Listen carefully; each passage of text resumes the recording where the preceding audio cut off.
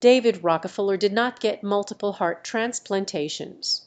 The statement you mentioned is not accurate. Rockefeller, like anyone else, would have typically received a single heart transplant if needed.